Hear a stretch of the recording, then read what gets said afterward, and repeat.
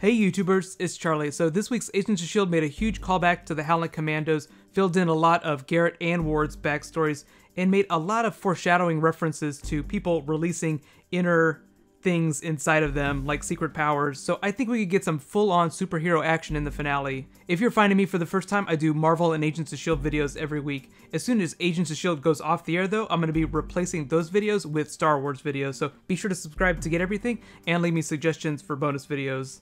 So let's talk about some Howling Commandos and flashbacks. Here are my top 5 moments. Careful for spoilers from the episode if you haven't seen it yet. But number 5, Garrett recruits Ward for Hydra. We finally found out how Garrett rescued Ward from a bad situation. I actually thought he killed his brother in that house fire, but more importantly, I think that he convincingly lied about trying to kill his brother. I don't know why S.H.I.E.L.D. agents would have to break into Juvie like they were breaking him out of prison or something. Maybe Garrett was just too lazy to do all the necessary paperwork, so now we'll just break him out. The funniest part was when Garrett dumped him in the middle of nowhere, Wyoming, and told him to survive.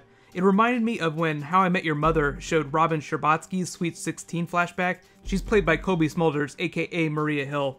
She got dropped out of a helicopter and was forced to fight off packs of rabid wolves and horny miners.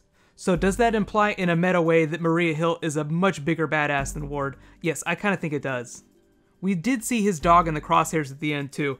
I think they just wanted to leave the possibility of Ward getting a redemption arc, and if they had shown him straight up killing the dog, it would have been a much harder sell after the finale. And when you really think about it, he didn't kill Fitz and Simmons, he just dropped them in a glass container out of a giant aircraft, you know, Loki style from Avengers. If only they had Thor's hammer to break their way out too. Number 4, Howling Commando Antiques Roadshow. This was definitely the most fun scene, aside from maybe them trying to break into Cybertek with the false identities and costumes. In case you forgot though, Triplett's grandfather was a Howling Commando, and technically, you know, so is Nick Fury, but they're playing it fast and loose with the timelines. I'm thinking Nick Fury was probably one during the 60s and 70s. I don't think that he fought with Triplett's grandfather. So here's the list of special items that I heard Coulson geeking out over. A handheld Hypno Beam, a transistorized blaster gun, the Joy Buzzer EMP, and the grappling gun that they used to zipline onto the train in the first Captain America movie. They actually used that in the episode. Just based on that one item, I would bet that Triplett's grandfather was a Howling Commando around the same time Captain America was going on, you know, like post World War II. Don't be surprised though if we get a lot more references to Coulson's love of memorabilia in the future. I could totally see Coulson playing with his toys, you know, like in Spaceballs when no one's looking. It'd be so hilarious, just pew pew pew pew.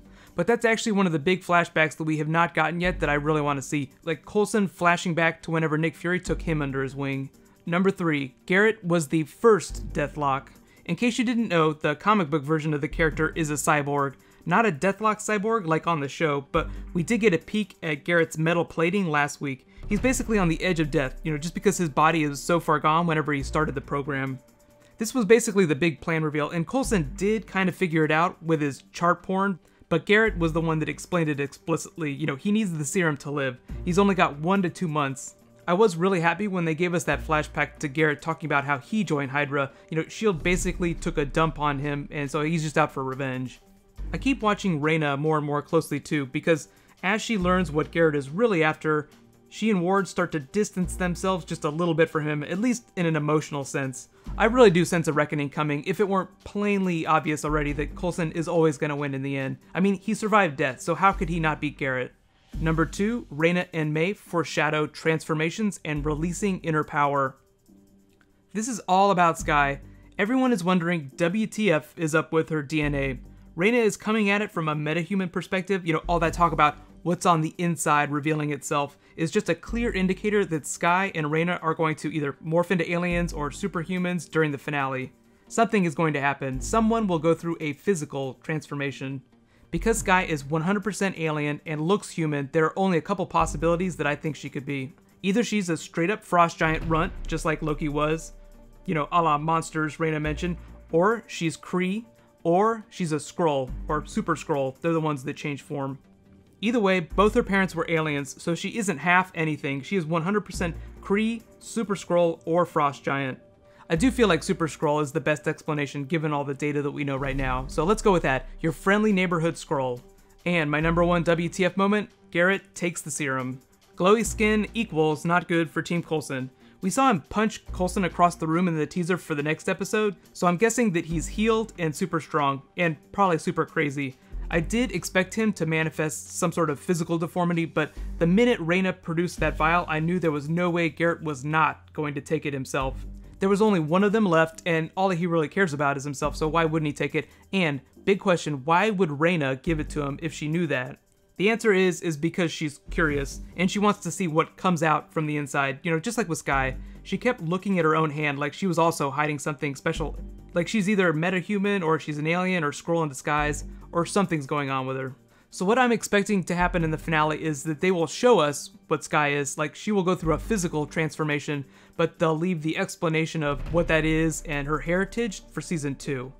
It feels a lot like a Willow Buffy thing where she developed her witch powers over the course of a few seasons, you know, not all at once. But now it's your turn. Let me know in the comments below what was your biggest WTF moment, and do you think that Ward killed that dog? We did not hear a gun go off. I don't think he killed him.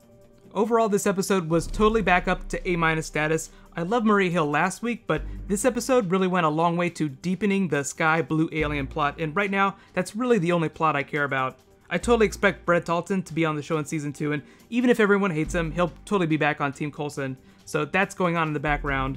Bill Paxton on the other side of the fence has been a lot of fun to watch at times, but I feel like for him, this episode was just purgatory before he gets to be that full on supervillain in the finale.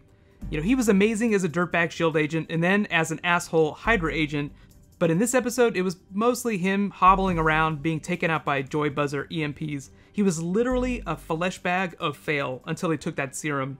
I really do hate it when characters are in limbo. You know, either be a man or be a Superman. Don't sit on the fence. It's just super boring. Based on all that Blue Alien, May, Bottled Rage, Ward and Raina turncoat foreshadowing, I feel like the final battle will pretty much be all of the main characters versus Garrett. Deathlok too, but they do have to fix that detonator issue in his brain before he can help out. Remember, Samuel L. Jackson is back too, so he is definitely going to kick some ass. There's no time I ever see him on screen where I don't think he won't be kicking ass. I know a lot of you too have been asking me about Agents of S.H.I.E.L.D. being renewed for Season 2. It hasn't officially been renewed, but essentially it kind of is. What they're doing is waiting to announce Season 2 to time it with their announcement for the Agent Carter TV show, and that's pretty much a go. So they're going to announce both those shows at the same time, because they're both going to be ABC shows. Right now in Hollywood, all the studios are announcing which shows are getting renewed and which pilots are going to series. For instance, the Flash TV show at the CW, it's pretty much guaranteed, but we'll also know about that officially in the next week or so. So, if there's anything big from the episode that you thought I left out of the video, just write it below in the comments and let me know what do you think that Skye is. Remember, whatever that is, it has to be 100% alien. Hint, hint, Super Skrull. And remember, next week is the finale, so be sure to subscribe to get my video. And as soon as Agents of S.H.I.E.L.D. goes away, I'm just replacing all of my S.H.I.E.L.D. videos with Star Wars videos. So leave me suggestions for what you want those to be about. Right now, click here to get my breakdown of the Gotham trailer. It's going to be the Batman prequel show. And click here to get last week's Agents of S.H.I.E.L.D. Thank you so much for watching. I'll see you tomorrow. High fives.